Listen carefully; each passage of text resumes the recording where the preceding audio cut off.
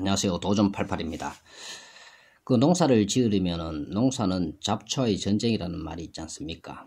그름을 주고 비료를 주고 작물을 심어 놓으면 어, 이 작물이 다 먹는 게 아니고 잡초가 이 영양분을 다 빨아먹여서 결국은 그 잡초 제거를 제대로 해주지 않으면 이 농작물이 제대로 성장할 수가 없습니다. 그 중에서도 어, 최고 어, 악질인 어, 잡초 10가지를 소개해 보도록 하겠습니다.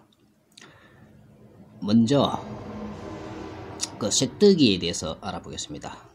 새뜨기는 소가 좋아한다고 이름해서 이름이 새뜨기입니다. 어, 이것은 어, 뭐 3월달이나 4월달에 올라오고요. 그 포자로 번식을 하기도 하고 그 다음에 예, 우리가 뿌리인 줄 알고 있는데 그것은 실제로 줄기입니다. 어, 줄기로 번식하는 경우가 훨씬 많습니다. 이 줄기는 최고 뭐 땅속 5m까지 어, 들어가서 아무리 뽑아도 뽑아도 계속 올라오는 게 새뜨기입니다. 그 새뜨기를 죽이려고 어, 근삼이나 바스타를 치지 않습니까? 근데 근삼이는 어, 뿌리를 뿌리를 없애는 제초제인데 그 뿌리가 워낙 깊이 있다 보니까 어, 근사미도 소용이 없습니다. 바스타도 안 되고요. 그 MCPP 뉴갈론 프라웃 이란 어, 제초제가 잘 든다고 하더라고요. 그래서 이거는 이런 어, 제초제는 호르몬 호르몬제로서 어, 약이 뛰기만 해도 어, 서서히 뿌리까지 예, 죽이는 그런 제초제입니다. 쇠뜨개는 우리에게 잡초에 불과하지만 실제로 어, 식용으로 어, 약용으로 많이 쓰이는 식물입니다. 그럼 쇠뜨기에 대해서 효능이나 뭐 그에 대해서 한번 알아보겠습니다. 쇠뜨기는 열을 내려주고 소변을 잘 나오게 하는 성질이 있다. 그래서 몸에 열이 많은 사람과 코피, 토열, 월경, 과다 등의 지혈약으로 써왔으며 배설을 촉진하는 이뇨제로도 사용하였다. 또한 여드름 치료 성분인 규산이 풍부해서 지성 피부, 피부 습진 등의 세정제로 사용한다. 쇠등은 성질이 서늘하기 때문에 몸에 열이 많은 사람에게는 잘 맞지만 몸이 차거나 맥이 약한 사람은 맞지 않으므로 먹지 말아야 한다. 이렇게 되어 있고요. 최근에는 쇠뜨기가 시금치의 150배에 달하는 칼슘을 보유하고 있다. 뭐 이런 어, 내용도 있습니다. 그 다음 어, 잡초는 쑥입니다. 쑥은 어, 초보부터 나와서 뿌리로 번식하기 때문에 그 세력이 정말 왕성하며 어, 그냥 두면 온 밭을 어, 장악해 버리는 어, 그런 잡초입니다. 그렇지만 쑥 또한 어, 실제로 잡초이지만 또 식용으로 많이 쓰이지 않습니까? 그죠?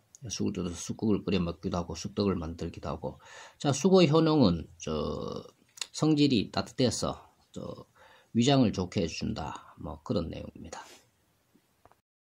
세 번째 그 다음은 어, 발행이가 되겠습니다. 뭐 경상도 말로는 발행이 이렇게 이야기하는데 이것도 뭐 악질 중에 최고 악질이죠. 아, 처음에는 우습게 봤다가는 큰 코 다치는 어, 그런 잡초입니다. 요게 뭐 올 초부터 나오기 시작해서 저 위에 사진에 보시듯이 뭐 조그맣게 그냥 나옵니다. 건드리면 뭐 그냥 죽을 것 같은데 어, 그런데 여기 뭐 씨앗이 뭐 엄청나거든요. 그래서 요거 초반에 그 잡지 않으면 온 밭을 장악해서 결국은 뭐 작물을 완전히 망가뜨리는 그리고 작년에 고사리를 심어놨던데 에, 게름을 좀 피웠더니 완전히 다 점령을 해서 에, 고소, 고사리가 그 두 줄은 초토화가 되어버렸습니다. 그래서 거의 고사리가 올라오지 않았죠.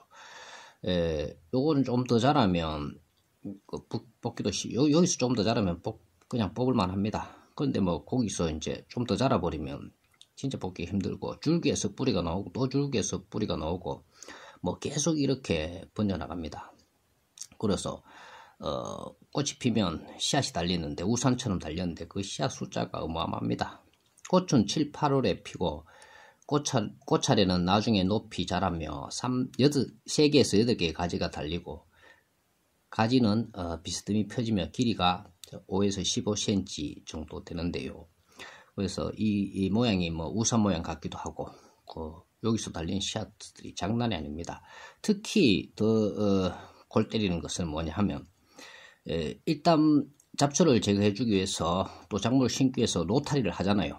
자, 노타리를 하고 먼저 고추를 뭐 심고 뭐 고구마를 심고 뭐 감자를 심고 땅콩을 심고 함...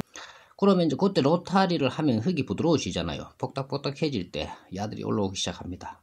그래서 어, 잠시만 기름 피워버리면 그 순식간에 자라버리고 그 세력도 엄청납니다. 그리고 이것은 뭐 식용으로 쓴다 뭐 이런 어, 말은 들어보지 않았습니다. 그래서 어, 풀, 잎풀 제거 그러니까 발행이 제거에 에, 최선을 다해야 됩니다. 그리고 물론 뭐 어, 제초제를 치면 되겠지만 어, 제초제를 안 치고 그 친환경 농사를 지으려 하는 분은 이 제초제 때문에 애를 많이 먹습니다. 네 번째는 달맞이 꽃입니다. 이 달맞이 꽃도 보기보다 그저 세력이 대단하고요. 특히 그 도라지를 심은 자리에 그 뿌리 식물을 자리 어, 심은 자리에 많이 올라옵니다. 그래서 뿌리가 아주 깊이 박히고요. 그리고 뭐 이것도 그저 씨앗으로 그 옮기기 때문에 씨앗이 또 그 도라지 씨앗처럼 뭐 어, 그런 형태로 그저 껍질이 있으며 퍼지기 시작합니다.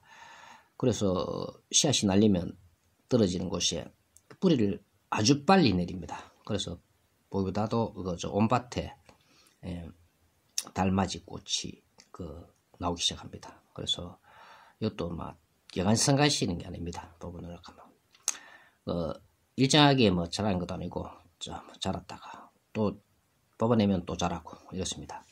그리고 달맞이 꽃은 어, 식용 그러니까 약용으로도 쓰이죠, 그죠? 그래서 뭐 뿌리를 캐서 어, 말려서 차로 끓여 먹이면 갱년기에 좋다고 합니다. 다섯 번째는 토끼풀, 즉 클로바라고도 하죠. 그런데 이것도 저 뭐 물기가 많은 곳에 그 한번 나오기 시작하면 이것도 뭐 세력이 엄청납니다. 그리고 어, 특히 뭐고 저 잔디를 심어놓은 곳에 잔디와 함께 살았는데 잔디밭에서는 이 토끼풀을 뽑아내는 에, 이 보통 일이 아닙니다. 그런데 이 토끼풀은 어, 식물 생장에 필요한 질소를 공급해서 토양을 비옥하게 만드는 역할을 한다. 뭐 이렇게 되어 있습니다.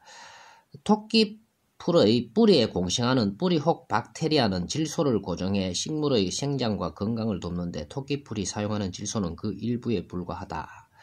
따라서 토끼풀이 사용하고 남은 질소가 토양에 남아 있어 다른 식물이 이용할 수 있게 된다.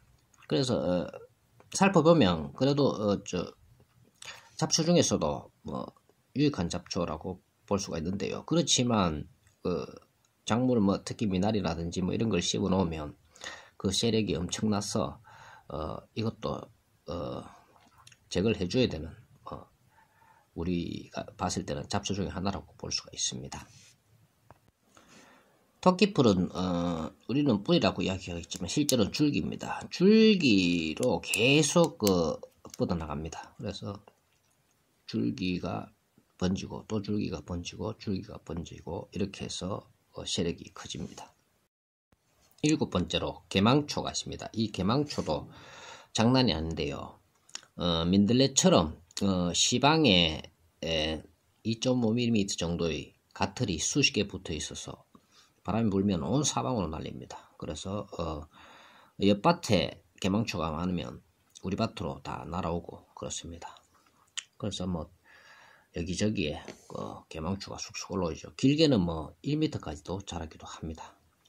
그리고 이 개망초의 효능은 어, 거기 효능보다도 어, 식용으로 쓰이죠. 그죠? 그래서 뭐 어, 잎을 따서 뭐 줄기를 따서 뭐 반찬으로 어, 쓰기도 합니다. 여덟 번째는 환삼덩굴입니다. 요거는 밭둑에 많이 자라죠. 그런데 밭둑에도 자라다가 여기 서서히 또 주인 모르게 또 밭으로 침입합니다. 밭으로 침입해서 어, 작물들을 칭칭 휘감아 버립니다. 에, 그리고 어, 특히 뭐 호박 심어놓은데 근처에 많죠. 그래서 나중에 뭐 호박이 뭐 어, 한삼덩굴을 타고 가고 또 한삼덩굴이 호박을 타고 가고 막 이렇게 됩니다. 자, 이것도 약용으로 많이 쓰이는데요. 자, 뭐 잠깐 뭐 약효를 보면 청열, 이뇨, 소어, 어, 해독의 효능이 있다 이렇게 되어 있고요. 자, 인병, 이질, 폐결핵, 폐농양, 폐렴, 나병, 치장, 치루, 옹독, 나력의 치료를 나력을 치료한다 이렇게 되어 있습니다. 좀 어렵게 되어 있네요. 일단은 그렇다는 이야기입니다. 네 가지로 간추리면 인뇨, 해독, 이질, 폐결핵에 좋다는 내용입니다. 아홉 번째는 어, 뚝새풀인데요. 뭐 독새라 하기도 하고 사투리로 이 뚝새풀은 저 논에 많이 나죠. 그죠? 모내기 하기 전에 에, 그 논이 마른 상태에서 자라서 어, 노타리를 하고 그 모내기를 하면 어, 뭐 물속에서 자라지 않으니까 없어집니다. 그런데 에, 뭐가 문제냐면 밭에 자랄 때가 문제가 되겠죠. 그죠? 밭에도 얘들이 자라가지고 어, 계속 계속 그 번져 나가면 이걸 또 제거하는 것이 뭐 힘듭니다. 근데 뭐 요즘은 잘 보이지 않다가도 또 뭐 중간중간에 뭐 때를 지어서 나타나기도 합니다. 마지막으로 쉐비름입니다. 이 쉐비름은 아직 올라오고 있지 않지만 5월 중순부터 해가 6월 어, 한창 그 나오기 시작하면 온밭을 뭐딱 놔두면 어, 그래서 쉐비름 뭐, 뭐 제가하기는 뭐 쉽지만은 어, 근데 그냥 놔두면 방치해 두면 세력이 뭐 대단합니다. 그리고 쉐비름은 어, 반찬으로도 해먹고요. 저 약용으로도 쓰기도 합니다. 어, 잠깐 살펴보면 쉐비름 잎에서 추출한 액체를 정제한 것을 마치온 추출물이라고 부르기도 하는데 오메가3 지방산의 일종인 에이코사페탄엔산을 함유하며 항균 작용 및 피부 진정 효과가 있다고 알려져 있어 화장품의 연료로 사용되기도 한다라고 되어 있습니다. 어쨌거나 저쨌거나 잡초 제거를 아니 할 수는 없고 어쨌든 이러한 잡초를 제거를 해야 되는데 너무 더울 때 잡초 제거를 한다고 무리하지 마시고 항상 건강을 챙기세요. 오늘은 그 악질 잡초 10가지 대해서 알아보았습니다. 그리고 지방마다 조금 다소 차이는 있을 수가 있습니다. 그래서 대로 10가지를 선정해 보았습니다. 감사합니다. 도전88이었습니다.